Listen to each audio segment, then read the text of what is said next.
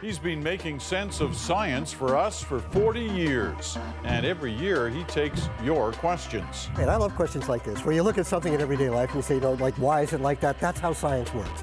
Questions like What has science learned from those that have suffered a near death experience? Want to know the answer? Well, we sat down with CBC science correspondent and host of Quirks and Quarks, Bob McDonald, for a special two-part one-on-one. And tonight, here's a special preview. So let's get some answers.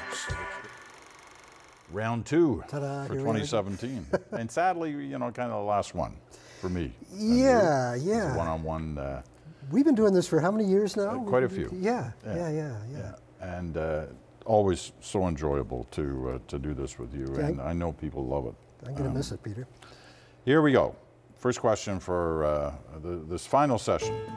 Keith Nile from Toronto. There are stars that appear yellow, red, white, and even blue. Why aren't there any bright green stars? Now, I'll be honest. I, uh, I don't know. It must be my eyes. I can never. T- I never. All, all I ever see is white stars. Is that right? Yeah. Oh well, in the wintertime, if you uh, if you look at the famous constellation Orion, it's the big square with the three in the middle. Uh, there's a, there's a star up on its shoulder called Betelgeuse that's definitely red if you look at it. And then down by his feet, there's the dog is, star is this Sirius. with the naked eye, or Yep, yep, be- yep, yeah? yep, yep. With naked eye, you'll see it's got an orange tint to it. And then Sirius, the dog star down by its feet, is, is blue-white. And those are two different kinds of stars.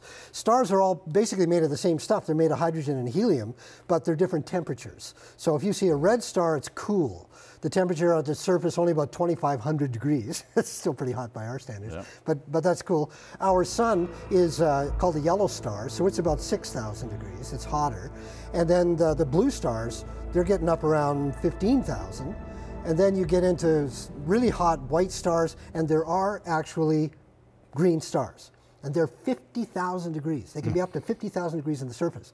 We don't see very many of them because they live fast and die young. they don't last long. They just burn themselves out. Only So- the good ones do that. yeah, that's right. so uh, re- gr- there were more green stars at the beginning, but uh, not too many now. When we do see them, they don't last very long, but they do exist. All right, video from Catherine Burr from London, Ontario. If I cut or scrape my skin, what is the process the body uses to heal itself and repair?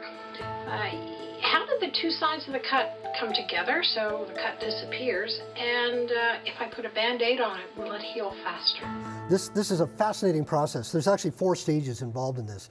So there are these specialized skin cells that go to the site of the wound and they start to populate either side of it. And they just grow like crazy. They just grow like mad. And as they, they reach out to each other across the room, they touch and they produce collagen. So collagen is in your skin. It's what gives your skin its strength. It's what you lose when you get really old and your skin starts hanging on your face. You know, it looks really thin. That's loss of collagen. So they make collagen, and collagen is very fibrous.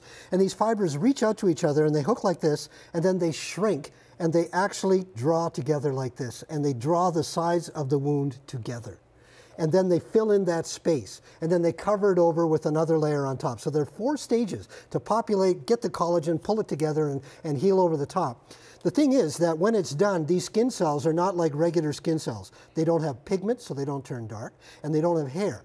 So you got to be really careful with your scars in the sun. I don't know if you, if you have a scar and you, you get a sunburn, the scar will stay pink. And so they're, they're more susceptible. But it's an incredible process of our skin healing itself. That probably explains the scars on my head. Yeah, is that right? Um, what about the tape? What about if you use a Oh, yes. Band-Aid? Well, the Band-Aid is mostly to keep germs out. Uh, is, is to keep bacteria and everything out from the outside. That's, that's mostly what it is, is keep the dirt out. It doesn't really speed the healing. In fact, oftentimes it's better to leave it open if you're in a clean environment. Stitching. it- it- Stitching is bringing the wound together so there's less, so that the cells have farther to, to reach, right? This is just trying to close the wound to let those healing cells get in contact with you and draw that collagen together. so it's an aid to the cells. Jim Miller from Richmond, BC, has this question uh, on video. What has science learned from those that have suffered a near death experience? Perhaps it's something to do with memory storage and replay, or possibly even something from the realm of spirituality. Well, I can answer this question from a personal point of view because uh, earlier this year, uh, my brother, who's extremely physically fit, he was on a bicycle uh, race, a long ride to, to raise funds, and he had a heart attack and he died on the side of the road, and they brought him back.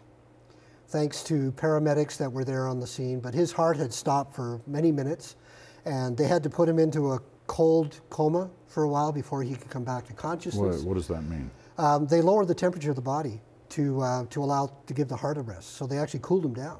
They're so doing that right coma. at the side of the road? or- No, they did it in the hospital. Once they got him to the hospital, right? And it took him months to recover from that. Uh, he's back. He's great. Now he's back on his bicycle again. But I went to see him while he was there, and he was totally out of it. Um, and even when he started coming back into consciousness, I was talking to him. I thought he was responding. I've talked to him since about that. I said, "So what do you remember? What do you remember?" He says, "All I remember is riding along, and then there were these two girls riding in front of me, and they were going really fast." And I was saying, "Why are they going so fast? I'm usually passing them." But he was slowing down. And he said, and all I remember was just kind of nodding my head, and that's it. He has no recollection of the event. He has no going to the light experience. Um, and his, his short term memory around that was affected, but his long term memory is not, and he's back. So it didn't change his spirituality, but what it did change is his appreciation for life. He loves life, and he has no tolerance for people who complain. So there's a case of someone who sort of died and come back. And when he left the hospital, they, they said, welcome back. They didn't say goodbye. They said, welcome back. So I, you know, uh, it's His hard to say. appreciation for first Yeah, responders too must have gone up absolutely. How long? How long was he out? I mean, if they got it, they had to take him to a hospital. We're, we're Yeah, well, they, it took a while. Fortunately, there were other paramedics that had the paddles on Oh, their okay. bicycles. So there, there are param- paramedics that ride with him. So the first one to, to get there, he was on him right away with the CPR. Actually Right. broke a couple of ribs to try to keep the heart going. Right. And then they get the paddles on to try to stabilize the heart because the heart fibrillates like this. Yeah.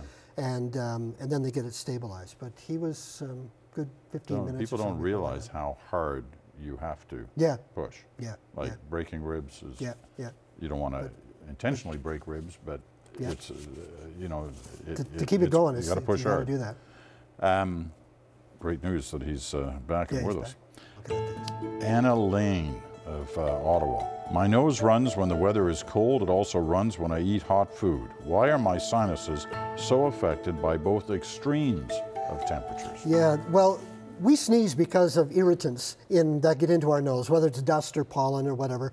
And it's the body saying, look, I, I don't want this. The nose is a filter. That's why it's got mucus in it to stop stuff from getting into our lungs and into our, our nasal passage. So if there's something there that irritates it, you sneeze to get it out. Just get it out. And it's, it's you know, you use more muscles. You use almost every muscle in your body to sneeze. There's only one other activity that we do that uses more muscles.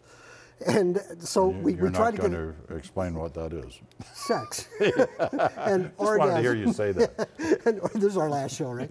So, but you use everything. Your body wants everything to get get rid of that. Well, it turns out that cold is also an irritant. Cold air is an irritant to your nose because it, it feels funny when it goes in, and so can heat. So it's just your body responding the same way as it would to pollen.